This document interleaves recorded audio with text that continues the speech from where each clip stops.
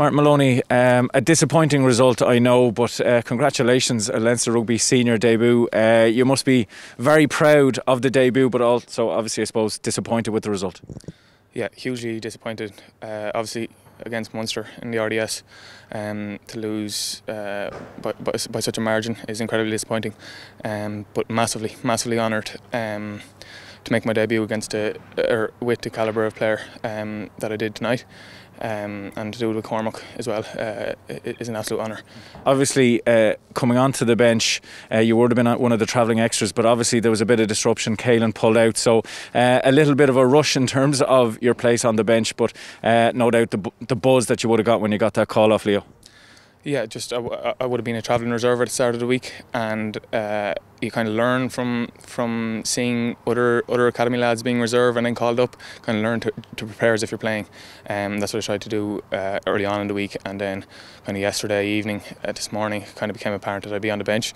Um, so I was obviously delighted, and yeah, just tried to focus on my role um, and and detail uh, last night and this morning.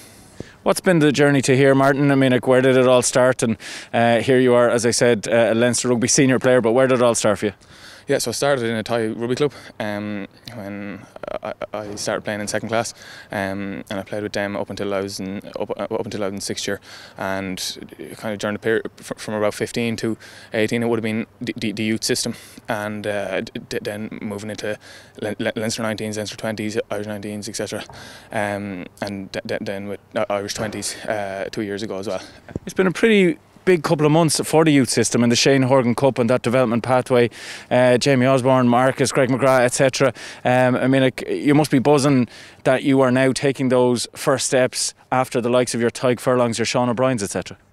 Yeah, yeah, no, there's, uh, there, there's. I think we're uh, we're not far off with the with the people who have made their debut this year. We're not far off uh, um, evens with schools that I think, um, which is great. Uh, yeah, it was it's it's great to see um, Jamie and Marcus. Like it, it, was that was an inspiration. Obviously, when you see them, um, you're thinking, oh, it, it, looks great out there. So, um, yeah.